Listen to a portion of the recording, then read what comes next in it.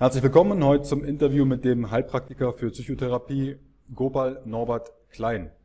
Vielen lieben Dank, dass du dabei bist. Vielen lieben Dank, dass du dein Wissen teilst. Und ich hatte es im Vorgespräch schon gesagt, äh, ich selber dachte, das Thema Traumatherapie wäre gar nicht so relevant. Wir sind ja hier auf einer Entdeckungsreise für Entgiftung, für Selbstheilung. Und nachdem ich einen Mitschnitt von einem deiner, äh, einer deiner Live-Veranstaltungen gesehen habe, dachte, ist bei mir der Groschen gefallen, dachte ich, wow, das interessiert ja jeden. Insofern würde ich äh, dich bitten, einfach mal kurz dich vorzustellen und das äh, Thema Traumatherapie anzureißen, warum es denn für jeden interessant ist, denn vielleicht noch ein Hintergrund. Wir wissen mittlerweile, dass auch bei Entgiftung der, das innere Stresslevel und auch die wiederholenden äh, Suchtmuster und ähnlichen Probleme eigentlich letztendlich die größte Barriere darstellen. Und da hoffen wir, dass wir äh, Einblicke von dir erkennen können und äh, wie es funktioniert. Vielen Dank nochmal. Ja, gerne. Ähm, ja, also ich habe mich seit längerer Zeit, ähm, seit vielen Jahren mit dem Thema Trauma und Psychotherapie beschäftigt. Auch ähm, ja, aus spiritueller Sicht, habe mich äh, mit ganz vielen Methoden beschäftigt, habe ganz viele Menschen getroffen, Lehrer. Und ähm, ich habe ja, für mich herausgefunden, dass der Kern der ganzen Probleme im Prinzip ähm, sich auf zwei Dinge reduzieren lässt. Und das ist einmal ähm, ein Stresspegel im Körper tatsächlich, der sich mit Willen einfach nicht äh, reduzieren lässt. Und zum anderen ähm, Probleme im Kontakt. Das heißt, ähm, sich im Kontakt zu entspannen, ja, sich wirklich auszutauschen und es, das war einfach so, dass in Beziehungen, wenn Nähe entsteht, dass dann der Stresspegel sozusagen äh, hochgegangen ist und das hat mir ähm, das hat mir, schwierig, mir Schwierigkeiten bereitet, mit Menschen äh, zu interagieren. Und das Ganze ist sozusagen auch wissenschaftlich untermauert. Also der Kern der ganzen ähm, Arbeit oder das, das, der theoretische Unterbau ist die Polyvagaltheorie von Stephen Porges, wo ich mich äh, sehr stark orientiere dran. Und die erklärt das im Prinzip. Die erklärt, wie wir funktionieren, warum wir so funktionieren, ist natürlich eine komplexe Angelegenheit, aber man kann es auch, ähm, oder versuche ich hier, das verständlich und kurz zusammenzufassen. Wunderbar. Ich wollte nicht unterbrechen, wenn du gerade. Ah ja, okay. Also. Ja, also nachdem das sozusagen, also meine Suche, die, die begann so mit, mit zwölf Jahren ungefähr, da habe ich mit Therapie angefangen. Und ähm, das hat dann 20 Jahre ungefähr, habe ich damit zugebracht und es hat alles nichts geholfen, also klassische Psychotherapie. Völlig nutzlos. Aber eben dann Traumatherapie hat die Wende gebracht innerhalb von einem Jahr. Und nachdem ich dann quasi geheilt war im Wesentlichen, ähm, habe ich dann angefangen, auch selber dann anderen Menschen zu helfen. Und das war dann so eine, ja, über Jahre Ausbildung gemacht. Also ich habe jahrelang dann auch mit Literatur mich beschäftigt, intensiv, quasi stundenlang jeden Tag die, die äh, besten Autoren ähm, studiert. Und dann kommt, also wenn man das wirklich macht in der Breite, ähm, und die, die führenden Leute studiert, wie, äh, also ich nenne mal so ein paar Namen, Stephen Porges, Lawrence Heller, äh, Peter Levine und so weiter. Ja, dann kommt, das ist erstmal sehr komplex, aber man kommt dann irgendwann dahin, dass es letztlich vom Prinzip her doch wieder ganz einfach ist. und ja, und dieses Einfache heißt letztlich, dass es für unsere Körper einfach um Sicherheit geht und alles Leiden, ähm, entsteht letztlich daraus, dass ein Teil des Nervensystems die Umgebung nicht als sicher einschätzt. Und dieser Teil, den können wir aber nicht direkt mit dem Willen beeinflussen. Wenn wir es aber schaffen, diese Ebene zu erreichen und zu beruhigen, dann lösen sich alle Probleme, die sich da drum herum kristallisiert haben, auf, weil ähm, das ist auch was, was man auch quasi von ja, was man wirklich physiologisch auch untersucht hat, wenn der Stresspegel hoch ist, dann ändert sich das Immunsystem, ja, das, der ganze Organismus funktioniert anders. Und in der Folge entstehen dann einfach unterschiedliche Bilder. Das heißt, der eine kann zum Beispiel eine Allergie entwickeln, der andere Beziehungsprobleme, der nächste baut Unfälle, ja, das sind alles Möglichkeiten. Depressionen, psychische Sachen, ähm, Gelenkprobleme können daher kommen. Ja, und das, deswegen macht es keinen Sinn, aus meiner Sicht eben an den Symptomen zu arbeiten.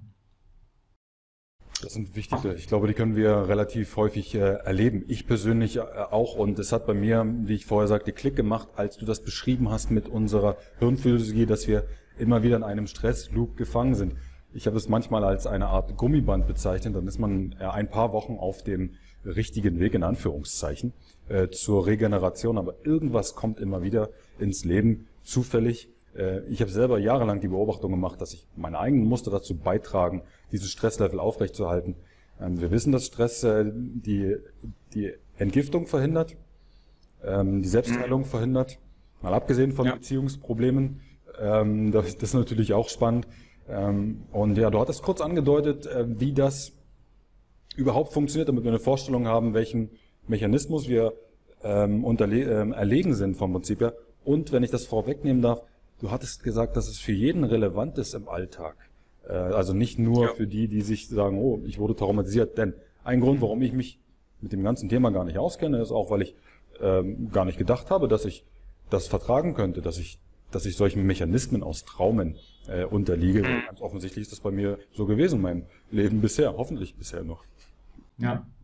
Ja, wir haben so ein bisschen das Problem mit dem Begriff. Ne? Einmal ist Trauma, der, der Begriff ist problematisch, einmal weil der nicht wirklich ähm, wirklich die Wahrheit aussagt, weil das, was wir unter Trauma verstehen, ist eigentlich eine hochgradige, äh, bewundernswerte Anpassungsleistung. Das würde erstmal das treffender beschreiben. Trauma heißt so viel wie, ähm, da ist was Schlimmes passiert und das muss man irgendwie heilen oder das muss weg.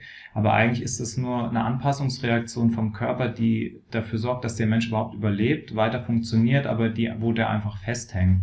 Und zum anderen haben wir das Problem, dass die Menschen äh, eben nicht, nicht ihre, ihre Lebenssituation mit diesem Begriff verknüpfen. Aber an dem Begriff hängt das ganze Wissen, was eigentlich für jeden relevant ist. Ähm, deswegen denken die meisten, na, Traum habe ich an sich so wie du vielleicht oder denkt man erstmal, so wie mir auch, mir ging das auch so. Ähm, ich wusste früher nicht, dass ich damit irgendwas zu tun habe. Ich dachte, das betrifft hauptsächlich irgendwie Überlebende von Katastrophen oder von schweren Unfällen, sonst was. Ähm, dass das noch andere Ebenen hat, äh, das war mir nicht klar. Und dadurch hat mir das Wissen gefehlt. Und dieses Wissen, das ist einfach, was da notwendig ist und was im Prinzip jedem, jedem helfen kann, ist, wenn wir äh, begreifen, wie unser autonomes Nervensystem funktioniert. Und das können wir begreifen, wenn wir uns anschauen, wie, ähm, wie die Situation bei Tieren ist in der Natur. Wir sind letztlich nur auch nur Säugetiere und die Reaktionsmechanismen auf Gefahr, die sind bei uns im Prinzip die gleichen wie bei allen höher entwickelten Tieren. Und da gibt es eine, quasi eine neurophysiologisch vorgegebene Rangfolge. Ähm, wenn ein Tier in Gefahr ist, reagiert das zuerst mit Kampf oder Flucht. Und wenn Kampf oder Flucht nicht möglich sind, reagiert es mit dem Todstellreflex. Das sind so die grundlegenden Vorgänge und die machen biologisch Sinn. Ja, also wenn ein Angreifer kommt, macht es Sinn zu fliehen oder zu kämpfen, um zu überleben. Es geht immer nur ums Überleben letztlich. Das ist vorrangig für unseren Organismus. Und wenn Kampf und Flucht nicht möglich ist, weil der Angreifer zum Beispiel überlegen ist, ja, dann kann ich noch versuchen, ähm, mich totzustellen und uninteressant zu werden. Und das heißt, es kann auch sein, dass ich dadurch ähm, sowas überlebe. Das ist quasi im Tierreich, wie das dauernd passiert. Dass das was mit uns zu tun hat, äh, da kommt man nicht so ohne weiteres drauf. Tatsächlich ist es aber so, dass das bei uns im Prinzip auch ständig abläuft. Weil diese Vorgänge, ähm, Kampf oder Flucht und Erstarrung, also Todstellreflex, das ist etwas, was wir in dem Sinne nicht bewusst machen, sondern das sind Vorgänge im Körper, die der Körper autonom, also auf Ebene des autonomen Nervensystems macht. Wenn also wir in Gefahr sind, dann ändert sich unsere gesamte Physiologie.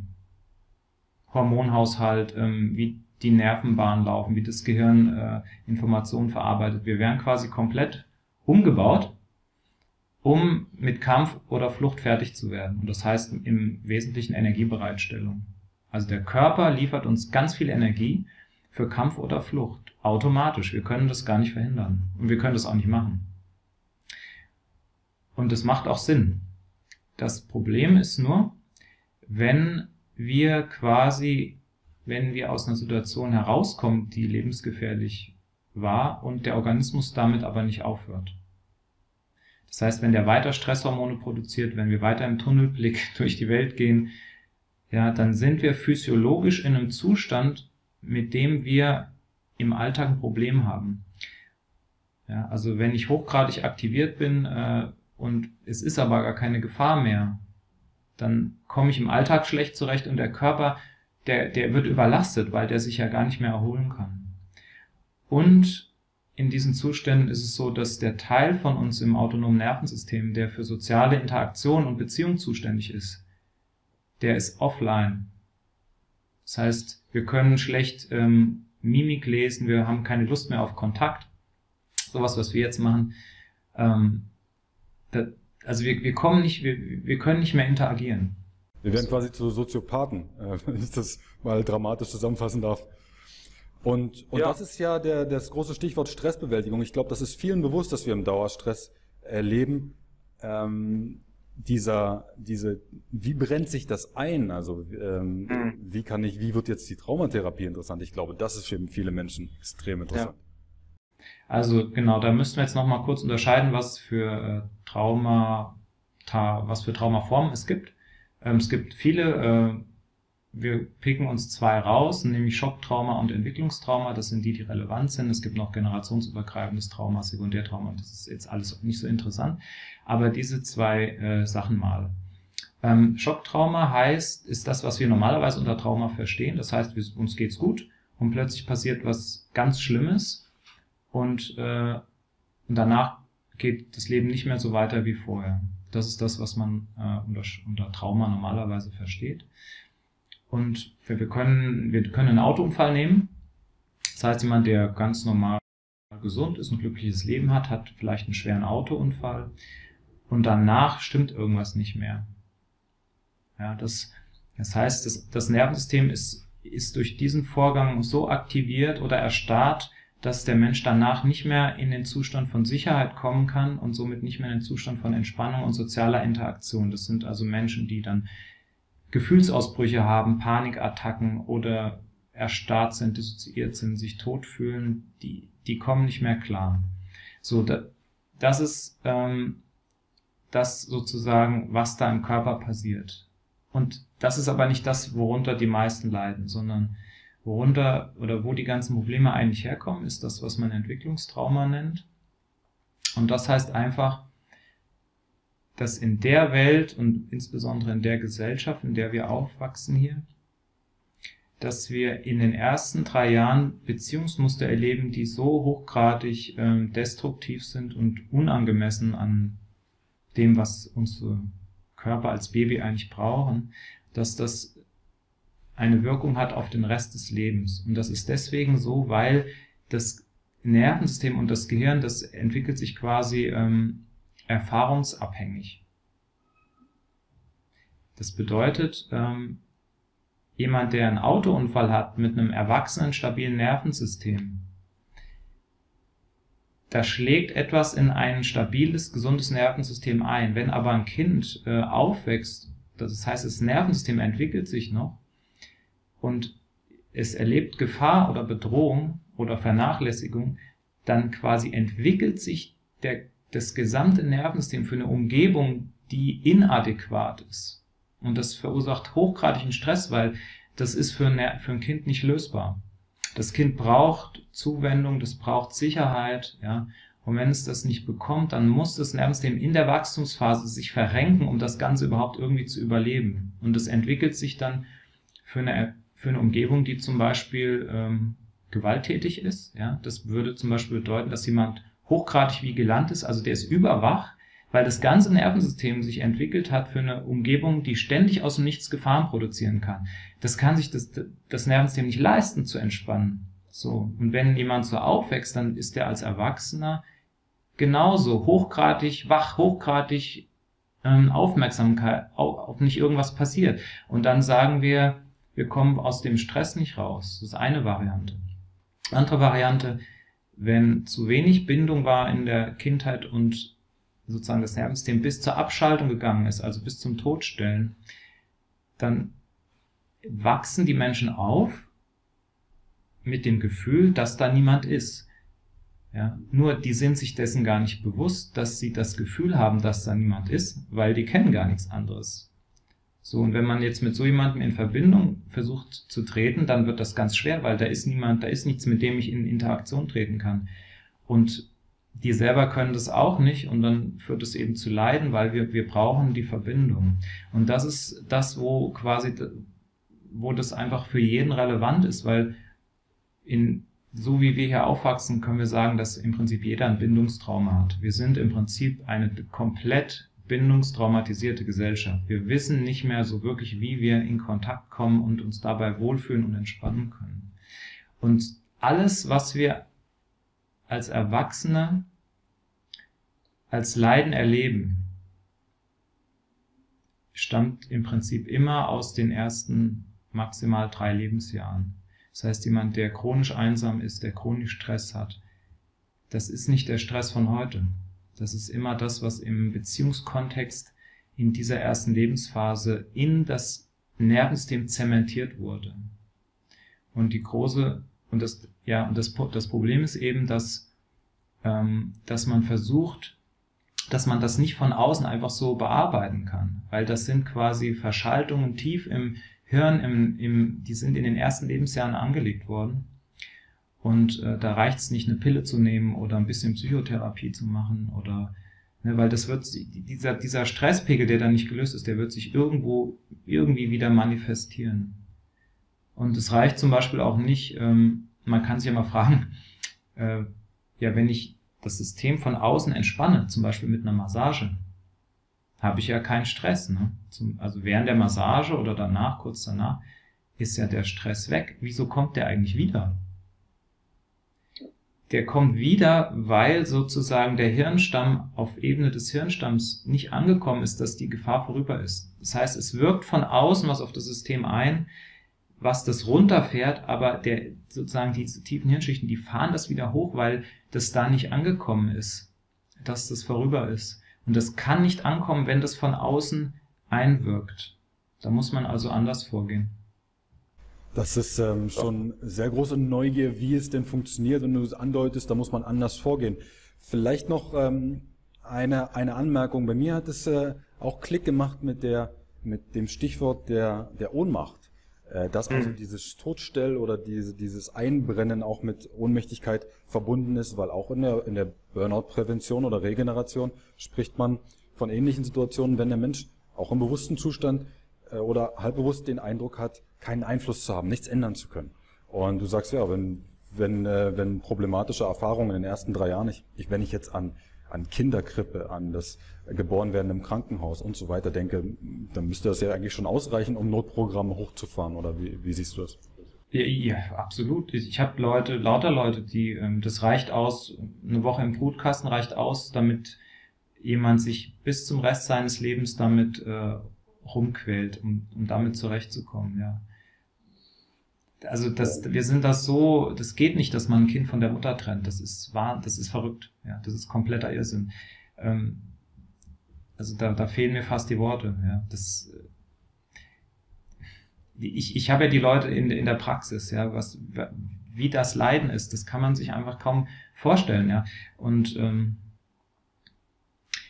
der Punkt mit der Ohnmacht ist, das ist sozusagen ähm, also vielleicht nochmal kurz zu diesen Zuständen. Wir haben im Prinzip nur drei Zustände. Sicherheit, Wohlfühlen, Kontakt, Verhalten, so wie jetzt. Ja, also wir, wir zwei, ähm, gehe ich von aus, uns ist klar, dass wir jetzt füreinander keine Gefahr darstellen und dann können sich unsere Systeme so ein bisschen entspannen und wir können sozial interagieren mit Sprache und Mimik. Das ist also, wenn das System im Normalzustand ist. Dann gibt's diese Aktivierung für Kampf oder Flucht, wo das System hochgradig geladen ist mit Energie. Und dann gibt's eben den Shutdown. Ja? Das heißt, wenn wir erstarren. Und diese Erstarrung passiert dann, wenn zu dieser Aktivierung Ohnmacht kommt. Also wenn ich nicht weg kann. Ja? Hochgradige Aktivierung mit nicht handeln können, weil diese Energie will ja über den Körper ausagiert werden, mit, mit Kämpfen oder Fliehen. Und wenn das nicht möglich war, dann ist das wie das System fährt hoch, kann nichts machen, rums, und dann, und dann erstarrt das. Und das, das ist immer dann, wenn Ohnmacht und Lebensgefahr zusammenkommen. Das nennt man auch die traumatische Zange. Und das ist ein, ein physiologischer Zustand, wo man sich auch nicht ähm, einfach so mit dem Willen befreien kann. Und das könnte aktiviert werden in der Zeit, wo ich als Kind äh, ohnmächtig der, äh, der stressigen Einflüsse äh, war und hat sich im Stamm dann konserviert, so dass ich jetzt die Erklärung hätte, warum ich immer wieder mit ähnlichen Sachen, spätestens nach ein paar Wochen der Linderung, ja. äh, anfange und grundsätzlich nie so richtig in die äh, in die Entspannung komme und in die Heilung komme oder immer wieder eine neue Methode, immer wieder eine neue Suche. Genau. Ja, genau. Also wir leben eigentlich, im Prinzip leben alle Menschen in den, innerhalb der ersten, also neurophysiologisch gesehen, in den ersten drei Lebensjahren. Ja, da ist so viel, in der Gesellschaft wird da so viel, schlägt da so viel Ungutes ein, dass die Menschen quasi da, darüber, was diese tiefen Ebenen angeht, nicht drüber hinauskommen. Im Prinzip ähm, kämpft jeder damit sozusagen mit, mit, mit sozusagen Vorgängen auf der Erwachsenenebene, um diesen Stresspegel, diesen Erregungspegel in sich runterzufahren, zu beruhigen. Und das kann alle möglichen Formen annehmen. Das kann zum Beispiel sein Süchte. Das kann sein sich überarbeiten. In der Hoffnung, dass ich irgendwo irgendwann ankomme und dann endlich entspannen kann. Das liegt also immer irgendwie in der Zukunft. Erlösungs, und, ähm, äh, Erlösungs, ähm, wie sagen Sie, Illusion nennt man es, glaube ich. Ja. Oder die Meditationsmethode oder der Arzt oder das Medikament oder das Verfahren. Bei allen, wenn man da nachfragt, ähm, sagen alle dasselbe die sagen alle dasselbe. Wenn das und das und das, dann kann ich endlich entspannen. So. Und das ist das, was wir versuchen. Wir versuchen uns zu entspannen. Und es klappt einfach nicht, weil wir nicht wissen, wo wir da wirklich ansetzen sollen, weil wir es immer nur im Außen versuchen. Und wir nicht wissen, was unsere Körper eigentlich brauchen, um sich zu entspannen. Und um da sozusagen was zu verändern. Jetzt ja, sind wir gespannt. Ja, ja, und deswegen Deswegen inszenieren wir das auch immer wieder, ja, das, weil das Nervensystem, das lernt ja in den ersten drei Lebensjahren Beziehungs, ein Beziehungsmodell. Also wie kann ich mit der Welt in Interaktion treten? Zum Beispiel, da ist niemand, ja, ist äh, destruktiv oder das, was da ist, ist gewalttätig und unberechenbar.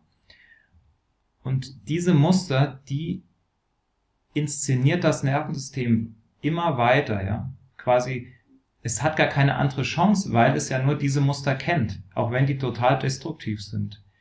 Das System hat keine andere Schublade, um mit der Welt in Verbindung zu treten, also inszeniert es diese Konstellation mit, mit den Folgen dann eben. Und dann entsteht Leiden, ja. Und dann ist eben die Frage, ja, wie, wie komme ich da raus? Ja, das ist so jetzt die große Frage. Also, selbst wenn ich ein vernunftbegabter Mensch bin, ähm, heißt es nicht, dass ich nicht unterschwellig, völlig unbewusst immer wieder dazu beitrage. Ich glaube, wir haben in der Heimat, wir haben so ein Stichwort äh, oder so einen geflügelten Satz, ähm, mit dem Arsch einreißen, was man mit den Händen aufgebaut hat, äh, dass dieses unterbewusst immer wieder, immer wieder, immer wieder und in das nächste immer noch ja. mehr Hoffnung reinsetzen. Ja, mit der Methode ja. oder diesmal wird's aber klappen, aber letztendlich. Genau. Und das kann dann auch irgendwie zur Verzweiflung oder zur, ähm, zu, selbst zur Aufgabe führen, weil das bringt doch alles nichts. Genau kann genau. ich auch bei meiner, bei meinem Suchtmuster bleiben, so nach dem Motto. Ja, ja. Und das, das liegt einfach daran, weil äh, wir haben drei, im Prinzip drei Hirnschichten, ne? von, also Großhirn, äh, Cortex, limbisches System und Hirnstamm. Und die ganzen Probleme, die sind eben unterhalb des Cortexes und im Prinzip auch unterhalb des limbischen Systems. Also sozusagen Hirnstamm ist Überlebensfunktion, das, was ich beschrieben habe, limbisches System, da so die Gefühlsebene und Cortex ist so Verstand. Und wir versuchen quasi ähm, mit dem Verstand etwas zu machen, um eine Veränderung zu erreichen, deren Ursache aber im Hirnstamm ist oder im limbischen System. Das heißt, wir versuchen quasi, das nennt man Top-Down-Ansatz, von oben nach unten eine Veränderung im Organismus zu bewirken. Und das eben stellt sich eben raus, das funktioniert einfach nicht. Entweder gar nicht oder zu wenig oder schlecht, ne? ähm, weil ich so rum diese Ebene nicht wirklich erreichen kann. Die, diese Überlebensebene, das ist da, wo Reflexe sitzen. Das wäre genauso wie, wenn ich, wenn ich jetzt zum Beispiel mir einen Reflex abtrainieren wollte oder da was verändern wollte mit dem Verstand oder mit irgendwelchen Übungen oder mit irgendwas. Ich komme da nicht wirklich hin. Aber einige versuchen dann so verrückte Sachen wie Hypnose, um irgendwas komplett umzuprogrammieren. Und davor habe ich äh, äh ehrlich gesagt großen Respekt. Ja, also ich bin kein Freund von Hypnose. Also ich halte das für keine gute Idee, weil ähm, weil das ist quasi, das ist der gleiche Ansatz, nur mit noch mehr Gewalt, sozusagen damit versuche ich mit Gewalt noch tiefer zu kommen, was ich komme ja auch tiefer, aber das, was ich dann da mache, das ist ja was, was jemand quasi, das ist ja nicht dem Organismus entsprechend, sondern ich, ich quasi, das ist ja wie eine Injektion von außen und der Körper, ich weiß gar nicht, was der eigentlich wirklich braucht. Ja. Ich, ja, also das, ich halte das für gefährlich. Es gibt Leute, die, die profitieren davon. Ich, ich finde es bedenklich. Also ich, es fühlt sich für mich auch nicht gut an. Ja. Und es muss auch nicht sein. Es geht einfacher. Das ist das interessante Stichwort jetzt. Ich bin ganz gespannt, äh, was ich machen kann. Was sind die Methoden? Wie kann man vorgehen? Aber auch ohne Schaden anzurichten oder deine Erfahrungen dann auch zu nutzen. Ja. Ähm, also worum es geht, ist immer nur Sicherheit.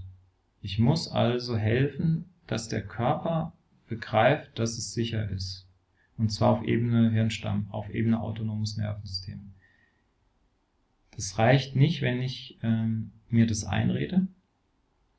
Ähm, aber man kann, man muss also tatsächlich, also sozusagen auch wie ich es eben beschrieben habe, top-down arbeiten, von oben nach unten aber anders und man muss insbesondere von unten nach oben arbeiten, also bottom-up.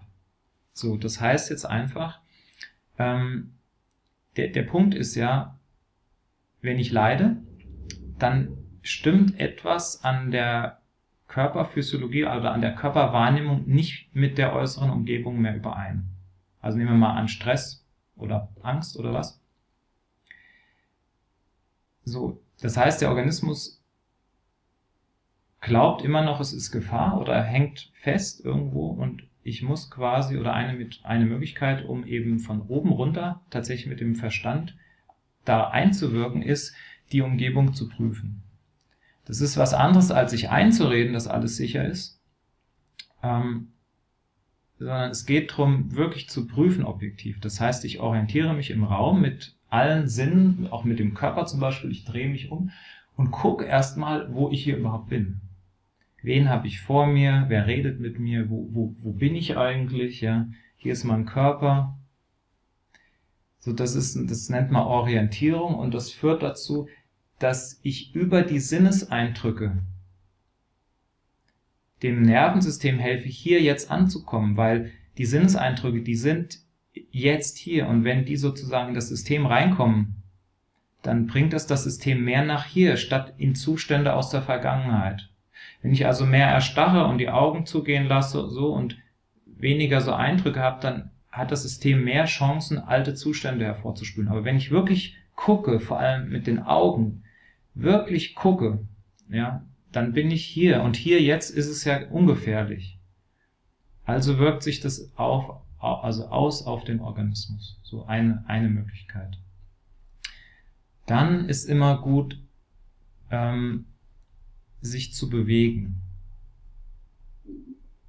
Weil, also wir hatten ja gesagt, alle, Prinzip alle Zustände oder Leidenszustände basieren auf einer Mobilisierung im Körper und das bedeutet immer, der Körper will oder wollte sich bewegen, entweder kämpfen oder fliehen. Und das ging nicht oder wurde verhindert, was auch immer. In dem Moment, wo ich den Körper bewege, bewusst bewege, ja, kann ich nicht mehr erstarren. Und wenn ich zum Beispiel Sport mache oder Kampfsport, dann gebe ich dieser hohen Ladung einfach auch einen Kanal, wo die hin kann. So, das ist, das ist zum Beispiel etwas, was ich einfach von außen machen kann. Dann. Abreagieren, Stichwort sozusagen. Ja, ähm, es ist gut, das bewusst zu machen. Also abreagieren hat so einen Touch von quasi sich dabei auch vergessen, ja. Ja. Kann man mal machen, klar, mal auf ein Kissen hauen oder im Sandsack und so und sich mal vergessen. Aber gut ist es, äh, das bewusst zu machen. Also so, dass man den Körper dabei spürt. Ja, das ist, das ist wichtig, weil ich sonst, weil quasi diese, diese Zustände, die bedeuten auch, dass ich die, aus der Körperwahrnehmung rausgehe. Und wenn ich ganz in den Körper zurückkomme, dann bin ich sozusagen wieder hier jetzt, wo es sicher ist. Also wir können auch sagen, das Ganze dient dazu, wieder in die Körperwahrnehmung zu kommen. Sehr schön. Also das sind ja, das sind so ähm, körperliche Sachen, die man machen kann. Dann, was dem Organismus am meisten hilft, sich sicher zu fühlen, ist sozialer Austausch, sozialer Kontakt, Verbindungen, vor allem langfristige Verbindungen und Beziehungen. Aber da laufe ich vielleicht Gefahr, meine, Gefahr, meine problematischen Muster problematischen zu füttern. Muster zu füttern. Äh, Gibt es da Spielregeln, Spielregeln, wie das, wie das, wie förderlich, das, wie das sein förderlich, sein kann? Ja, also erstmal äh, kann man vielleicht nicht nichts anderes machen, als mit den alten Mustern in Interaktion zu treten. Es ist aber besser als gar nicht. Also es ist einfach wichtig, Kontakt zu haben. Das macht man auch, wenn zum Beispiel jemand ein, Flashback hat und durchdreht, dann zwingt man den in die Wahrnehmung, zum Beispiel, äh, da, dass der mein Gesicht sieht und äh, dass der zu, zu, zur Wahrnehmung von mir kommt. Ja? Und dann so bringt man Leute da zum Beispiel wieder raus. Und das ist etwas, was wir brauchen, was der Organismus braucht. Dann je mehr der davon hat, desto ruhiger wird's. Jetzt haben wir halt das Problem, wenn eben Traumatisierung, und das ist ja in der Kindheit meistens der Fall, im Beziehungskontext stattfindet, dann habe ich eben was verschaltet, was nicht zusammengehört. Zum Beispiel Nähe, Geborgenheit, Körperkontakt mit einem anderen Menschen, mit Gewalt, Übergriff oder ist es niemand da oder der verlässt mich. Dann kann es halt sein, als Erwachsener, ich will jetzt da irgendwie hin zu den Menschen, aber irgendwie geht's nicht. Oder ja, ich habe Angst oder so. So, und da, das ist einfach die Kunst dann in der Therapie, sozusagen zu helfen, dass derjenige nach und nach diese Muster hinter sich lässt, einfach weil er erkennt, dass heute andere Menschen da sind und wieder in den Kontakt findet. Also die ganze Heilung bedeutet einfach nur, dass wir zurück in die Körperwahrnehmung kommen und wir uns wieder mit Menschen verbinden können. Dann kommt alles zur Ruhe. Und man kann das auch umgekehrt sagen, ähm, bei allen, die jetzt zu, zu mir kommen, ist, äh, wo es egal um welche Probleme geht, kann man immer sehen, dass da ähm, Kommunikationsprobleme und Probleme im Kontakt, in der Verbindung da sind und auch in der Körperwahrnehmung. Das hängt einfach alles zusammen. So, das, das war die Beziehungsebene und das, was im Körper, ich hatte jetzt, was den Körper angeht, nur top-down, äh, sozusagen das angesprochen, das, was man im Körper eigentlich machen muss, ist eben bottom-up arbeiten. Das heißt, ich arbeite mit dem Körper und, aber, und beeinflusse sozusagen dadurch die äh, Programmierung im Hirnstamm. Und dann habe ich eine Wirkung von unten nach oben. Ja, weil ich, ich erreiche über die Körperebene, erreiche ich den Hirnstamm. Den, also, weil das ist direkt, das ist sozusagen am nächsten. Die Signale, die, die gehen hier durch, durch den Hirnstamm, durch den Thalamus in den Kortex und über den Körper erreiche ich diese Ebene und über den Verstand erreiche ich die einfach ganz schlecht. Deswegen ist immer Körperarbeit das, was hilft. Was heißt in dem Fall Körperarbeit? Körperarbeit äh, heißt zum Beispiel TRE, also Tension and Trauma Releasing Exercises von David Berselli. Das ist so, das, äh, das ist das auch, was ich anbiete, so das Beste, was ich so, was ich im Moment am besten halte, ja. SE zum Beispiel, äh, Somatic Experiencing, geht in eine ähnliche Richtung. Der Ansatz ist ein bisschen anders, aber im Prinzip ist die Richtung die gleiche. Und einfach alle Arbeit im Körperberührungskontext, im, wo jemand, ein Therapeut anwesend ist und diese Traumathematik versteht, kann helfen, in den, in den Körper zurückzukommen. Und darüber erreiche ich eben diese Ebene. Und der Punkt ist, wenn das System eben, also der Körper, wenn der durch alle diese Maßnahmen anfängt sich zu beruhigen, dann beginnt die Entladung. Das heißt, es kann sein, dass der Körper anfängt sich zu schütteln oder zu zittern oder zu zucken und das sind dann Vorgänge, die wirklich auf Hirnstammebene ähm, durchgeführt werden, die das System aber selber macht. Das ist der Punkt. Wenn ich bewusst mich schüttle, da passiert gar nichts. Aber wenn die Sicherheit, so viel Sicherheit in diesen tiefen Schichten ankommt, dass der Hirnstamm anfängt, diese Entladung zu beginnen, dann ändert sich was grundlegend. Und die Entspannung, die dann kommt, die ist so fundamental, dass das zum Beispiel auch sein kann, dass man plötzlich, dass die Welt ganz anders aussieht. Also ich hatte das einmal nach einer TAE-Sitzung. Das war, als hätte ich die Welt noch nie gesehen, wirklich. Weil dauernd diese Schleier vorher vor den Augen waren. Und das, das ist einfach die Hirnphysiologie. Ja. Äh, ich hatte mal eine Unterhaltung, da wurde eine alte Frau rezitiert, die meinte, ah, wenn du dann unterwegs bist auf Reisen äh, und am Strand sitzt, dann kann es sein, dass die alten ähm, Emotionen, die eingefroren waren, zu schmelzen, so wie Eiswürfel. Und dann willst du aufspringen und dich ablenken, aber lass mal, lass mal das hochkommen. Du hattest aber äh, erwähnt, das sind jetzt zwei Fragen. Es geht, gar, es geht gar nicht um die Emotionen, sondern um diese, tatsächlich um diese Verschaltung, um die Nervenströme. Mhm. Äh, und zweitens die Frage wäre, ähm, was kann ich denn selber machen oder woran erkenne ich, dass ich mehr Hilfe brauche, wenn sich das Problem anfängt zu lösen und ja. ich eben mehr oder was anderes als Tiefenentspannung erlebe. Also wie komme ich aus Krisen raus? Das ist eine große Frage. Ja, also es geht insofern nicht so wirklich primär um die Emotionen, weil die von der Hirnregion über dem Hirnstamm sind, im limbischen System und Trauma hat immer was mit Überlebens zu tun und das ist eben Hirnstamm und das sind, also das kann man sich auch einfach vorstellen, Stress ist in dem Sinne keine Emotion. Ich halte auch Angst für keine Emotion. Ja, das sind alles Vorgänge, wo es ums über, wo es ums nackte Überleben geht. Und das ist Hirnstamm, Reflexe, ja, er Erregungspegel. Da, da ist das Problem. Und wenn das sozusagen, ähm, wenn da schon alles überladen ist, dann gibt es überhaupt keinen Raum in dem Organismus, was zu fühlen. Weil zum Beispiel unter großer Angst kann man schlecht Freude empfinden oder Trauer oder sowas. Ja.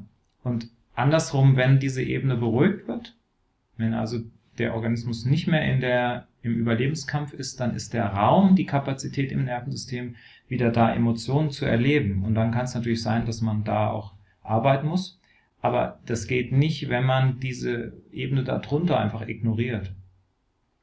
Das funktioniert nicht. Und in der, in der Psychotherapie hat man eben bisher ja, oder hauptsächlich eben nur Verstand und Emotionen betrachtet und diese grundlegenden Überlebensfunktionen im autonomen Nervensystem, die wurden einfach nicht adressiert. Deswegen hat das auch alles, funktioniert das auch alles nicht so wirklich optimal. Aber jetzt ist man halt zum Glück ein Stück weiter. Und erkennen für sich kann man das ganz einfach, wenn man das Gefühl hat, dass man, dass man, dass immer so eine Dramatik da ist. Ja. Wenn ich dauernd irgendwie am, am Kämpfen bin, am Ackern, so als ob ich dauernd irgendwie ums Überleben kämpfen muss, wenn ich dauernd in einer hohen Aktivierung bin, ja, also unter Strom stehe, eine Variante, Gefühlsausbrüche habe, zu Ängsten, Panikattacken neige. Oder eben, wenn mir alles egal ist und ich eigentlich aufgegeben habe und innerlich abgeschaltet habe und so. Das sind so Signale, Zeichen. Auch wenn ich zum Beispiel keine wirkliche Lust auf Kontakt habe, auf Menschen. Das ist ein Zeichen, dass eben diese höheren Hirnfunktionen runtergedimmt sind weil in einem gesunden Zustand ist die Bewegung ganz natürlich auf andere Menschen zu. Das wollen wir einfach, weil, das, weil wir das biologisch brauchen.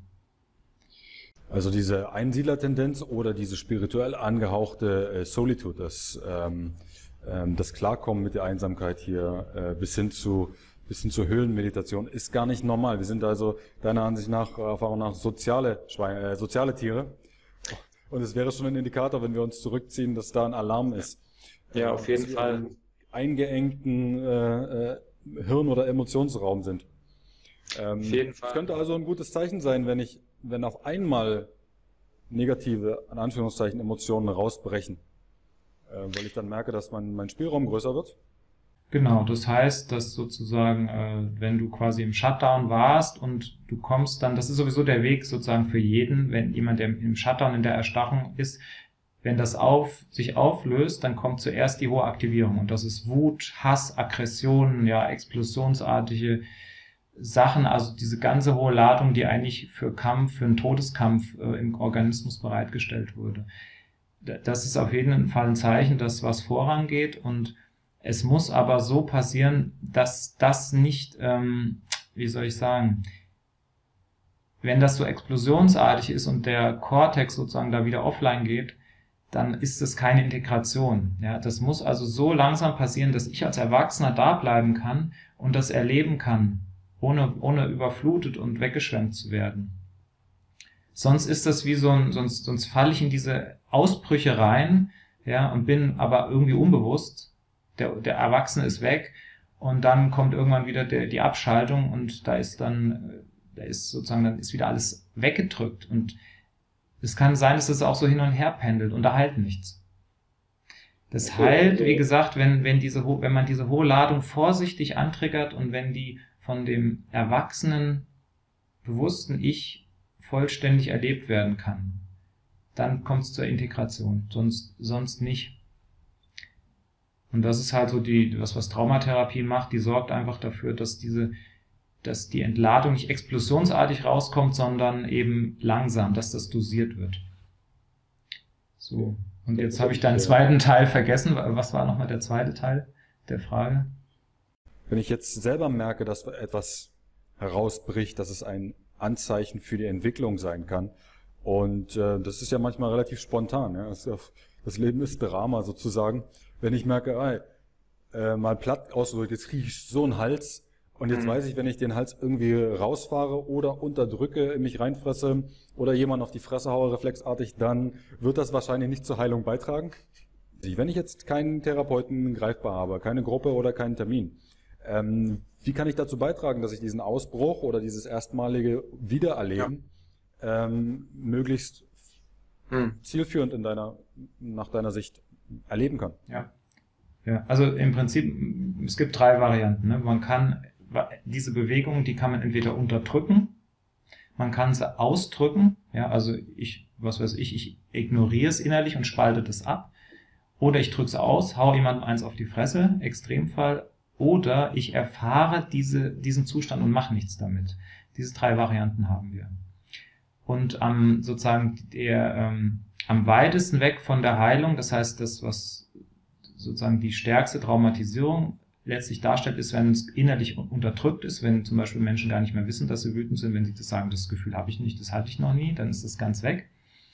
Ähm, die, die brauchen also erstmal einen Zugang dazu. Und wenn du es jetzt so ausbricht, wie du sagst, dann geht's drum, äh, das erstmal in sozusagen zu kanalisieren, ohne dass Zerstörung passiert. Weil wenn das aus, wenn man aus dem Shutdown kommt und das kommt raus, ist das erstmal so explosionsartig, dass man das quasi wenig kontrollieren, wenig ähm, steuern kann, weil das so eine Ladung hat, weil das so lange unterdrückt wurde. Es geht ja ums Überleben. Ne?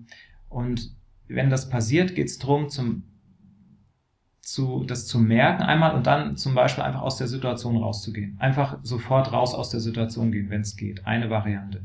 Andere Variante ist, ähm, es bezieht sich ja meistens auf Menschen, ja. Ist meistens im Beziehungskontext, wo das dann losgeht. Andere Variante ist, ähm, ich gehe sofort weg von diesem Menschen, gehe in Nachbarzimmer und hau auf ein Kissen. Oder wenn es an der Arbeit ist und da ist nichts, dann mache ich das abends. Das kann man auch immer nachträglich noch machen. Oder ich gehe in mein Zimmer und schreie rum und schreie den an im Geiste. Das sind erstmal alles Wege, um dieser Energie einen Kanal zu geben, der nicht zerstörerisch ist. Weil wenn ich den, äh, wenn ich meinen Chef anschreie, mit der Wut, die eigentlich zu meinem Vater gehört, dann habe ich vielleicht am nächsten Tag keinen Job. Ist vielleicht auch unangemessen, so dass das wäre also nicht so prickelnd. Also muss ich erstmal dieser hohen Energie einen Kanal geben, irgendwo hin. Oder wenn ich in den Wald gehe und renne. So, das ist der erste Schritt. Nächster Schritt ist, dass ich anfange, diese Zustände zu kommunizieren. Also, das Und heißt, gegenüber? na, im Idealfall dem gegenüber, den es betrifft. Zum Beispiel, ich bin stinksauer oder das macht mich wütend oder das macht mich traurig. Da ist jetzt ganz viel Hass, nachdem du das gesagt hast. So, das ist halt ein Schritt weiter. Das ist dann nicht so einfach, aber das ist sozusagen ein Schritt weiter, um ähm, aus diesen, aus diesen Polen von Unterdrücken und zerstörerischem Ausagieren rauszukommen. Und, und der Ausweg daraus ist immer Kommunikation mit dem, den es betrifft. Weil wenn ich was kommuniziere, dann muss ich es nicht mehr unterdrücken, dann muss ich es auch nicht mehr ausdrücken. Wenn ich jemand mitteile, ich bin jetzt voller Wut, entspannt sich das, wenn der das hört. Dann muss ich ihm nichts, nichts über die Rübe, einen, keinen über die Rübe hauen. So, und mit dieser Kommunikation, das ist ja das, was als Kind nie gehört wurde. Das ist ja was Neues. Natürlich macht das riesige Angst, weil als Kind durfte das nicht sein. Also habe ich quasi das Gefühl, wenn ich das mitteile, werde ich quasi getötet. Das ist das, was verschaltet ist. Und da muss ich eben lernen und ausprobieren und gucken, wie ist das? Was ist, wenn ich das jemandem mitteile, werde ich dann dafür vernichtet? Und ja, und damit kommen dann neue Erfahrungen ins System. Und mit dieser Kommunikation wird dieser Druck abgebaut nach und nach. Und dann ist das, was das Leben quasi, was in der Kindheit unterdrückt werden musste, weil die Eltern damit nicht umgehen konnten. Das hat dann plötzlich Raum und dann ist der ganze Druck aus dem Kessel, der geht dann nach und nach raus. Und noch ein Schritt weiter ist dann irgendwann, wenn man das auch gar nicht mehr kommunizieren muss, dann ist es einfach nur ein, wie so ein Energiezustand, der da fließt und man hat, man, das kümmert einen nicht mehr. Ne? Dann muss man es auch nicht mehr mitteilen. Aber man dann soll es dann auch bewusst wahrnehmen oder, oder verläuft sich das, dann wird man dann müde dieser, dieser Signale vom Körper und äh, es normalisiert sich. Ja, man ist dann so desidentifiziert und es hat sich so an diese, diesen Energiefluss gewöhnt, dass es nur noch ein Vorgang ist, der einen nicht mehr irgendwie groß ähm, irritiert. Ne? Also jemand zum Beispiel, der im Shutdown war, sein Leben lang, weil er als Kind nicht wütend sein durfte, wenn der zum ersten Mal an die namenlose Wut kommt, das überfordert das System völlig. Da kriegt er Angst und, und das ist, das ist also fast ein Gefühl von Lebensgefahr. Und jemand, der diese Energie völlig integriert hat, für den ist zum Beispiel Wut einfach nur so eine innere Welle, die, wo man überhaupt nichts mehr mit zu tun hat. Das kocht so hoch und dann senkt sich's wieder ab und, aber ich, das ist wie so zugucken beim Fernsehen. Ja. Hat ein bisschen den Eindruck, dass ich mir das abgewöhnen will, ähm, jetzt von der Absicht, auf solche Emotionen, auf solche Gefühle zu reagieren, mich neutral zu machen. Ähm, zumindest kann ich mir vorstellen, dass es so äh, auch bei anderen ankommt. Er hat so ein bisschen was Zombie-mäßiges, dass ich, dass ich dann hinterher so all, vielleicht ist das richtige allglatt bin nach dem Motto, es gibt nee. Emotionen, aber pff, ich bleib trotzdem stabil. Ähm, vielleicht kannst du den Unterschied nochmal andeuten. Ach so. Naja, das ist ja genau das Gegenteil. Das ist ja genau andersrum. Im Shutdown und in der Aktivierung bist du ein Zombie. Da erlebst du ja nichts. Also weder im Shutdown noch in der Aktivierung bist du weg. Das, du, du bist nicht da, da ist kein Raum für Leben und Bewegung. Aber wenn du offen bist und das alles durch kann, dann lebt das in dir. Das sind Energie, Gefühlsbewegungen, ja. Das ist, das ist die totale Lebendigkeit. Und du kannst es ja, du kannst es ja trotzdem ausdrücken. Du kannst ja deine Freude ausdrücken, du kannst deine Wut ausdrücken. Ähm, das war jetzt vielleicht, was ich beschrieben habe, eher so ein Meditationszustand, ja, aber du hast dann die Wahl. Also du hast, du kannst auch da mitgehen und das feiern und ausdrücken und teilen mit anderen. Also das ist kein, äh, das ist eigentlich lebendig, ja. Wunderbar. Du hattest ähm, das Stichwort Meditation gebracht und das vielleicht nochmal als Abgrenzung zu den Kniffen, die vielleicht oder die tatsächlich verbreitet sind zur Selbsthilfe, aber möglicherweise nicht bis zum Ziel führen. Beispielsweise mhm. Meditation oder, äh, na klar, Drogen äh, oder äh, du, du hast auch ähm, einige Stimmen in Richtung spirituelle Praktiken anklingen lassen. Vielleicht kannst du dazu noch kurz ein, ähm, ja. darauf kurz eingehen. Ja, also Meditation ist oder für viele der Weg, eine Lösung allein zu finden. Da wird versucht, eine Lösung zu finden ohne ein Gegenüber, ohne andere Menschen. Und es ist oft so, dass äh, solche Menschen in der Kindheit vernachlässigt wurden zum Beispiel. Da gab es niemand. Und die, die Prägung ist so tief, dass da niemand ist, dass ich alles alleine machen muss. Ja, alles bewältigen, alles lösen, immer alleine. Das ist so tief, dass man sich dessen gar nicht bewusst ist. Also die, diese Menschen, die kommen überhaupt nicht auf die Idee, dass, dass quasi eine Lösung im Beziehungskontext stattfinden kann, dass da was Neues entstehen kann, dass das schön sein kann, dass da was heilen kann, sondern die versuchen alles alleine und dann setzen sich auch alleine in die Meditation hin. Und das führt äh, früher oder später zur, ja, in die Katastrophe oder das funktioniert einfach nicht, weil wir sind nicht so gebaut. Ja, wir brauchen ähm, diesen Austausch. Das ist, gibt, ähm. es, ja. Also für, für Menschen, die jetzt quasi die in der Gesellschaft verankert sind, die jetzt kein Problem haben, mit das Leben durchzulassen. Wenn die sich zur Meditation hinsetzen, ist was anderes. Die gehen dann nicht in einen, also wie soll ich sagen, die sind nicht in einem Überlebensmodus von dem Nervensystem, sondern denen geht's ja ganz gut. Die setzen sich hin und können sich dann mehr spüren oder auf eine andere Art spüren.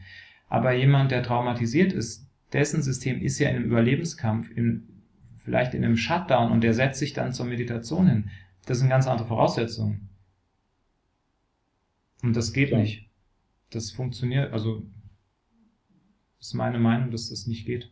So. Okay.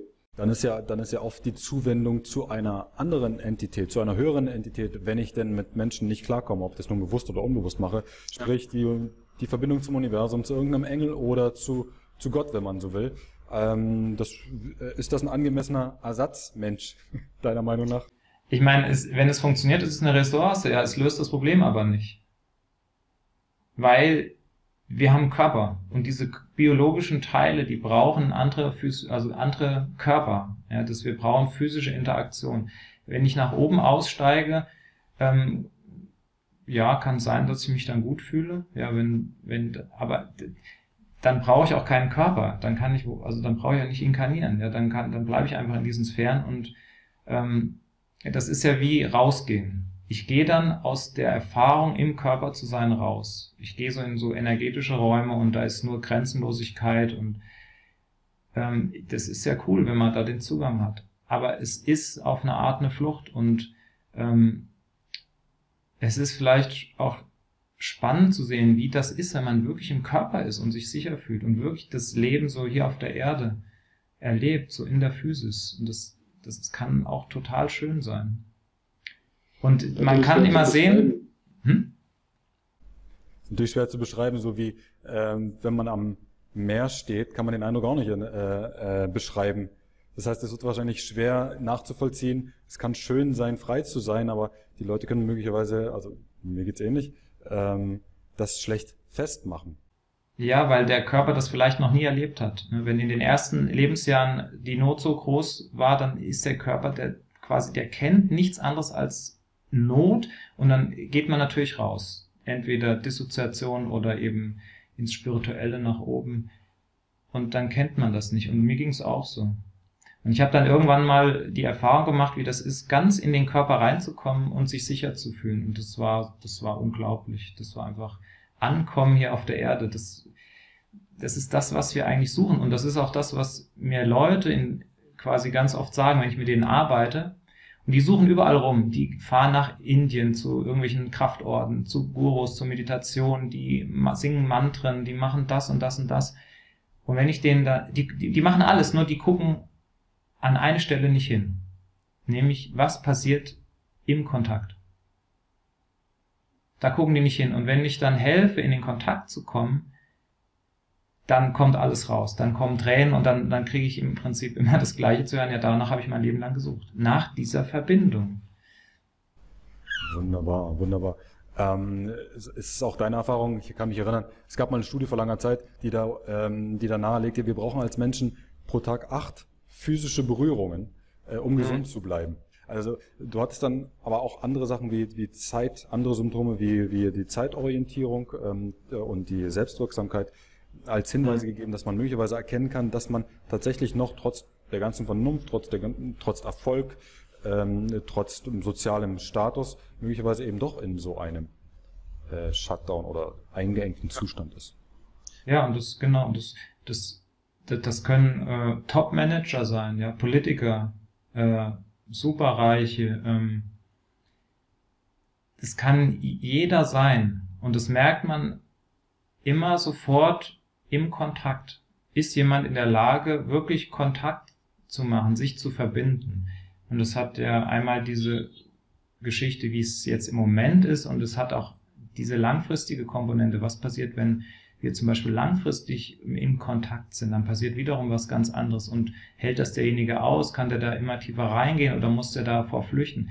Und daran ist alles zu erkennen. Ja, und jemand, der, der ähm, der leidet, hat immer auf dieser Ebene ein Problem. Und umgekehrt, wenn es da hakt, dann leidet der Mensch und dann nützt ihm die ganze Karriere nichts. Und oft ist es ja so, dass, dass da, zum Beispiel Karriere oder, oder diese hohe Arbeitsenergie, wo kommt die denn her? Die kommt oft daher, weil ich etwas kompensieren muss. Zum Beispiel Gefühl von Einsamkeit oder Demütigung. Ja. Oder und, und was passiert denn da? Da passiert, dass wir, wenn ich, also nehmen wir das Karrierebeispiel, wenn jemand sehr erfolgreich ist, dann heißt das, er kann mit dieser Position mit der Welt in Kontakt kommen, ohne dass diese Gefühle aktiviert werden. Ja, also er, er geht mit einer Rolle, mit einem Status, mit einem Selbstbild in, mit der Welt in Kontakt und das aber so, dass er quasi davor bewahrt wird, dass alte Sachen aktiviert werden. Genauso zum Beispiel jemand, der Macht anstrebt. Jemand, der eine Machtposition hat, der kann, wenn der sich in diesen Machtzirkeln oder Bereichen bewegt, hat er ja Kontakt mit Menschen und mit der Welt. Und dann geht er aus dieser Position heraus mit der Welt in Kontakt, mit einer, mit einer hohen Macht. Und das bedeutet, er er vermeidet, dass seine eigene Ohnmacht spürbar wird. Weil wenn er das auf gleicher Ebene macht, dann käme die ganze, die ganze Ohnmachtsgefühl, die, die Hilflosigkeit, die käme dann zum Vorschein. Und deswegen, ja, sind so Positionen auch einfach total ähm, interessant und oft kommt die Energie dafür her. Und auch zum Beispiel für Therapeuten und Heiler ist es ähnlich. Also es betrifft mich auch. Ich arbeite als Heiler und äh, mache arbeite mit Menschen und was passiert da? Ich trete mit Menschen in Kontakt und komme denen ganz nah und habe aber eine scheinbare Machtposition und, und Kompetenzgefühl. Also habe ich eine Sicherheit mit ganz viel Nähe, die ich unter normalen Umständen nicht habe. So, und das macht die Sache unheimlich attraktiv. Schön, dass du es ansprichst. Vielen Dank. Ja, ist ja auch so eine Art, ähm, das ist schon eine Art, ähm, ähm, wie soll ich sagen, Missbrauchsgefahr. Ich habe selber mit dem Coaching in einigen Bereichen aufgehört oder das verschoben, weil ich gemerkt habe, oh, pff, eigentlich helfe ich mir ja selber, lass mich dafür bezahlen. So nach dem Motto, vielen Dank, dass du das ansprichst. Und ja, es gibt ja auch Statistiken, dass die Menschen mit Psycho, äh, mit, mit soziopathischen Tendenzen sich im Management und in der Politik in höheren Hierarchien konzentrieren. Ähm, möglicherweise ist das gar nicht genetisch, sondern möglicherweise sind das einfach nur stärker traumatisierte Menschen, oder wie siehst du das? Naja, die, die, die sind nicht unbedingt stärker traumatisiert, sondern die, die im Prinzip jede, jede Rolle in der Gesellschaft erlaubt uns, einen bestimmten Bereich von uns auszublenden, den nicht zu spüren. Jemand, der in diesen Machtbereich geht, der vermeidet, also, oder nochmal anders ausgedrückt, wenn, wenn wir mit Menschen in Kontakt kommen, Nähe, Kontakt, Verbindung, dann führt das zwangsläufig dazu, dass alles, was nicht gelöst ist, aktiviert wird. Das heißt, jemand, der Ohnmacht erlebt hat in den ersten Lebensjahren, diese Ohnmacht wird hochgespült. Zwangsläufig, weil als Kind Nähe und Kontakt und Ohnmacht verschaltet wurde und, und sozusagen die Lösung ist dann erstmal sich zu trennen, aber wenn ich mich dann wieder jemandem annähere, kommt das alles hoch. Und wenn ich aber das aus einer Rolle mache, Chef, Politik, ähm, keine Ahnung was, Richter, sonst was, dann gehe ich in Kontakt und Verbindung, aber ich habe so einen Macht-Background, dass das Alte da nicht hochkommen kann. So, und das heißt einfach nur, dass sozusagen, wir haben andere Spieler, also die Spieler in diesen Machtgeschichten, äh, die haben einfach was anderes erlebt als zum Beispiel ähm, vielleicht, weiß ich nicht, Karriereleute oder Therapeuten oder Ne? Man, man sucht sich einfach das aus, wo man in Verbindung gehen kann, ohne eben diese alten Sachen aktiviert zu bekommen. Und das ist das, was wir alle machen. Wir suchen alle Verbindung. Entweder nach oben oder zur Seite, zu uns selbst. Alles, was wir machen, wir suchen Verbindung mit der Gesellschaft, einen Platz in der Welt. Und das machen wir, gestalten wir so, dass es für uns möglichst angenehm ist. Und das heißt im Idealfall einfach ohne Sachen, die hochgespült werden. So, und das, und wenn das gelöst ist, dann ist möglicherweise auch die Motivation für solche Positionen oder für Höchstleistungen, die fällt dann einfach weg. Äh, um es ganz hart zu sagen, das wäre ja im Endeffekt, äh, deine Arbeit wäre ja in, in altem Vokabular äh, unterm Strich Wehrkraft zersetzend.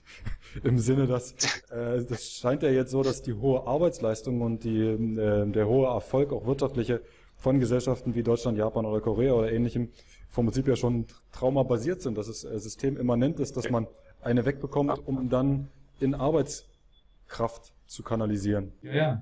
Die Menschen, die, die werden ja auch ähm, sozusagen in, in, in Diktaturen, werden die Menschen auch bewusst bindungstraumatisiert. Ja, man sorgt dafür, dass Bindungstrauma der Standard ist, ähm, der passiert. Das wird, da gibt's auch, äh, werden, werden Bücher gedruckt, gedruckt und dann stehen da zum Beispiel Sachen wie, ähm, ja, keine Ahnung, wenn ein Kind schreit, soll man es schreien lassen oder Zucht und Ordnung und so weiter. Also das wird quasi von oben angeordnet, dass quasi Neuankömmlinge bindungstraumatisiert sind und dann ist sozusagen die, die stabile Basis weg und dann kann ich, dann sind das äh, schwache Menschen, die kann ich nachher formen, wie ich will.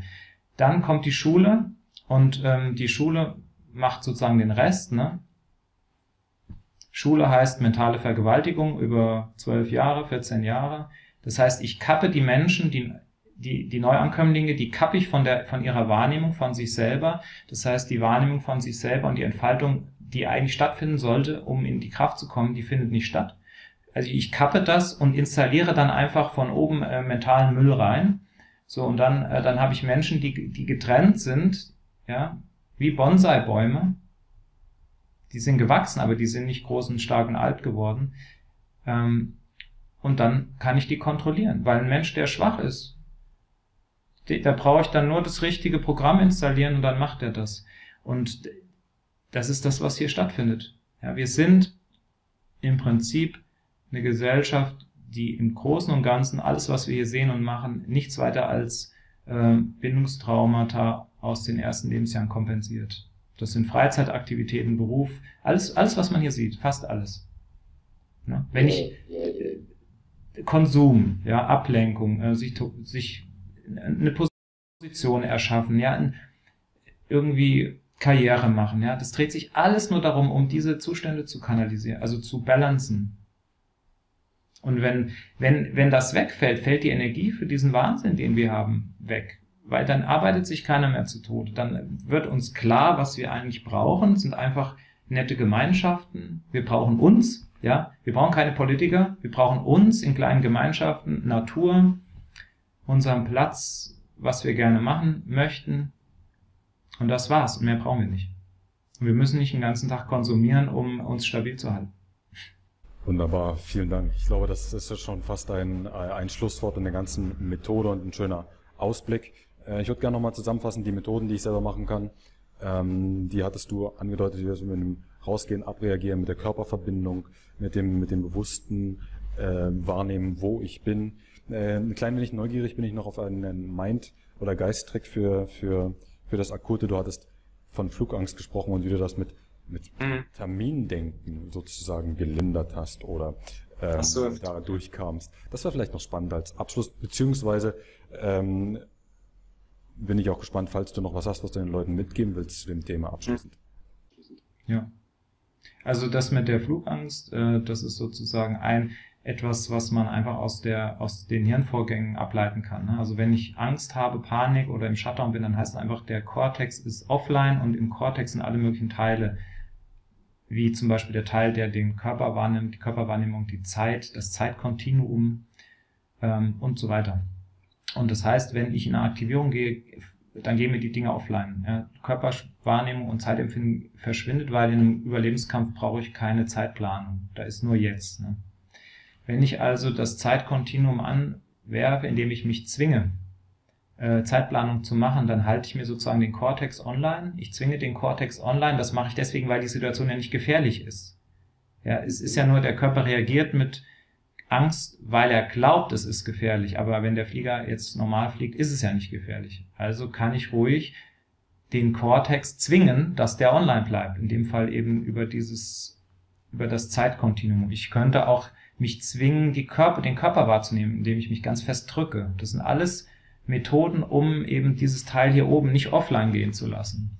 Und wenn das Ding online bleibt, dann bin ich hier jetzt und dann ist klar, dass es sicher ist. Ja. So, das ist der Trick der ganzen Sache. es gibt also Sache. einen Hintergrund bei dem Gegenschmerz erzeugen, bei der Logik von Gegenschmerz erzeugen sozusagen, wenn du sagst, wenn ich mich fest drücke, kann ich mich daran erinnern, dass ich noch da bin? Ähm, oder ist das, äh, ist das nicht das Gleiche?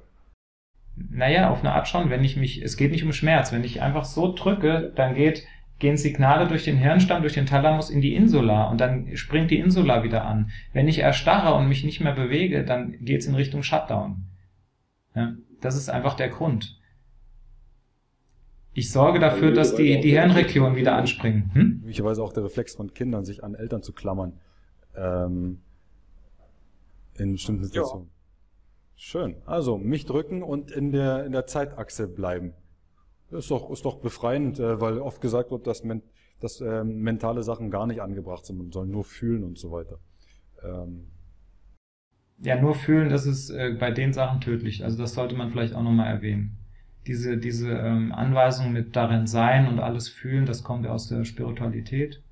Und das geht eben, macht keinen Sinn, wenn der Körper in der Aktivierung ist. Wenn der Körper glaubt, er ist in Lebensgefahr, macht es keinen Sinn, das auch noch fühlen zu wollen, weil dann äh, hilft man dem Körper sozusagen noch tiefer da reinzukommen und der Zustand passt ja nicht zur Umgebung.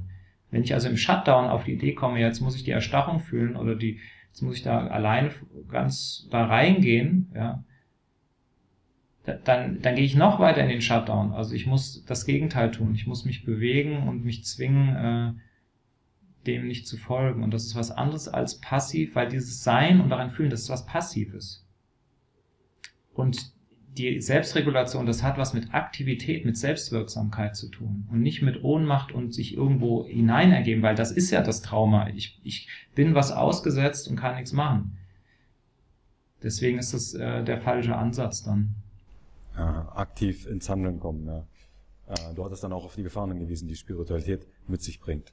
Äh, also gerade irgendeine Instanz alles abzugeben oder die Zeitachse komplett zu ver vergessen mit dem im Jetzt. Ähm, vielleicht ist das ein bisschen komplex, weil du hattest ja gesagt, klar, das, ähm, das in Jetzt hier sein ist ein wichtiger Teil des Verbindens. Aber andererseits äh, kann es gefährlich sein, wenn man die Zeitachse komplett verliert. Also, ähm, äh, also das ist, das ist jetzt funny, weil, also, jemand, der im Shutdown ist, der hat kein Zeitgefühl mehr, weil dieser Teil im Hirn offline ist. So, Jetzt kann der natürlich das verwechseln. Der hört jetzt ja, ich soll im Hier und Jetzt sein. Es gibt keine Zeit. Dann sagt er, ja, super, bin ich doch die ganze Zeit. Da, das ist aber nicht dasselbe. Und das Kuriose ist, damit so jemand in das Hier Jetzt kommt, wo keine Zeit ist, muss ich erstmal helfen, dass das Zeitempfinden wieder da ist. Weil das eine hat mit dem anderen nichts zu tun. Ja, jemand, der in, in der Erstarrung ist, der ist zwar hier jetzt, aber das ist unbewusst. Der hat einen hohen Aktivierungsgrad, das ist aber unbewusst. Und der kommt zu sich eben mit diesen Sachen, mit, der, mit dem Zeitempfinden und Körperempfindung. Und wenn das ganze Ding wieder da ist, also hier oben, dieses Teil, dann kann der auch wieder quasi hier nach hier jetzt kommen und dieses, diese Ideen von Zeit wieder loslassen. Aber nicht aus dem Shutdown in die Meditation und äh, dann sagen, ja, ich bin ja schon da. Klar, vielen Dank für die Klarstellung. Sehr schön, gefällt mir. Wir haben ähm, relativ hohes Zeitpensum, ist, ist mir gar nicht aufgefallen, aber ich glaube, jetzt kommen wir an die Schallgrenze. Ähm, möchtest du vielleicht den Leuten noch irgendwas mitgeben oder meinst du, okay, jetzt haben wir den Bogen einfach so, dass ich hier schon ein bisschen erkennen und helfen kann? Hm. Ja, vielleicht so die, die Essenz ist, also was jemand, der zuschaut und vielleicht Sachen hat, wo er nicht mit klarkommt oder die er nicht lösen kann. Der Punkt ist weg von dem Fokus auf die Symptome und hin dahin in Verbindung mit Menschen zu kommen. Wir können das alles darauf reduzieren. Wenn wir es schaffen, untereinander in Verbindung zu kommen, löst sich der Rest auf. Also statt sich auf die Veränderung von Symptomen zu konzentrieren, konzentriere dich darauf, in Verbindung, in eine ehrliche Kommunikation mit anderen Menschen zu kommen. Das, das ist der, der Weg der Heilung. Und solange es Leiden gibt, ist das der Weg der Heilung und ähm, es macht keinen Sinn, zur Person in Samadhi zu kommen, wenn ich nicht weiß, wie ich mit äh, jemandem äh, in Kontakt und in eine, eine, schöne Beziehung kommen soll, kann. Wow, wunderbar. Vielen, vielen lieben Dank, ähm, Gopal. Äh, das ist sehr beeindruckend. Ich habe jetzt Lust, schon meine Beziehungen neu zu gestalten, neu zu erleben. Ähm, ich glaube, es äh, wird vielen Leuten helfen. Ich bin mal gespannt, äh, wie die Reaktionen sind. Ähm, auf jeden Fall vielen lieben Dank fürs Teilen deiner Erfahrungen. Gerne. Und ich würde mich freuen, wenn wir da irgendwie anknüpfen können. Gerne. Hat Spaß gemacht dann. Bis dann. Danke nochmal. Ciao.